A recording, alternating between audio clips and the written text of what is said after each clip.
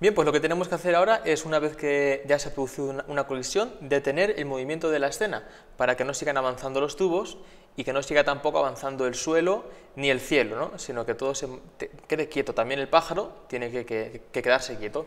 Entonces, ¿cómo hacemos eso? Bueno, hasta ahora lo que hemos estado haciendo es añadir los tubos, añadir el cielo y el suelo, añadirlo a la aplicación.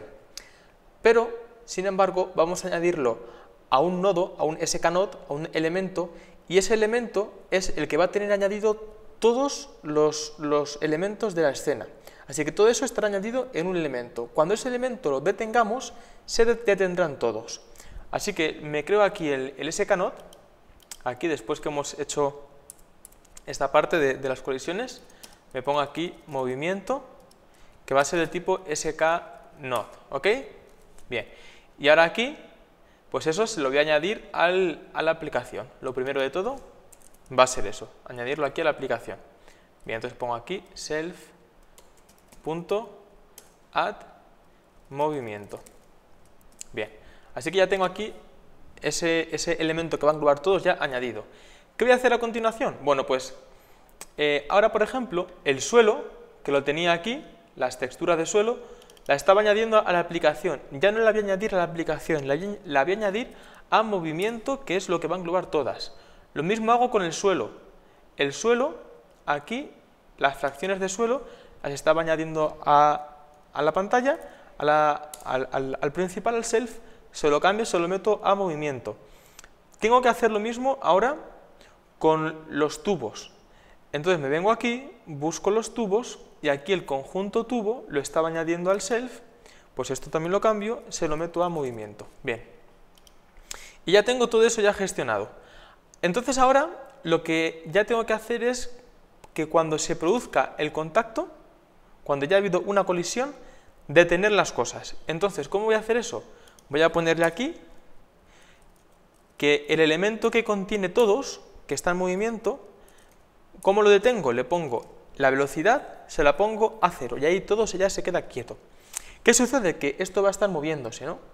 Entonces, tengo que ponerlo a cero si hay movimiento.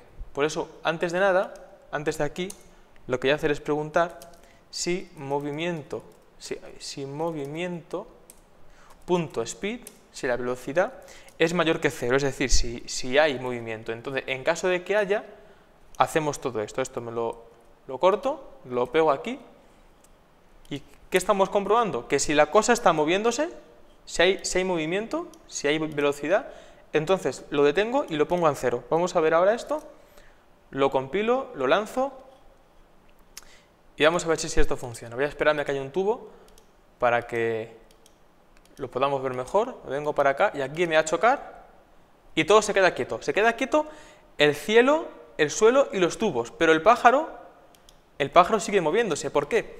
Porque el pájaro no lo hemos añadido a ese elemento que engloba a todos, al que hemos llamado movimiento. El pájaro va aparte.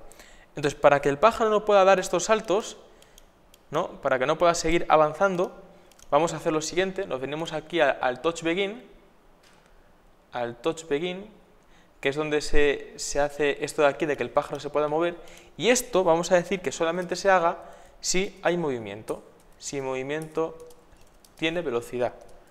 Entonces, en caso de que tenga velocidad, entonces, command X vamos a hacer para que el pájaro pueda elevarse, pero si no, pues, pues que no se eleve, ¿no? Porque se entiende que el juego se ha detenido. Detengo, stop, y ahora vamos a ver cómo cuando haya un toque, el pájaro no tiene que poder saltar. Yo toco y ya no salta. El pájaro se quedó sin saltar.